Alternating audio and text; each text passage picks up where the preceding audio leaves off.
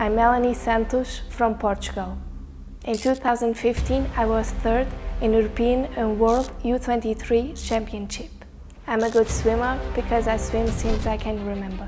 We can compete in different distances with the best 25 women of the world. I'm a rookie and I'm here to impress.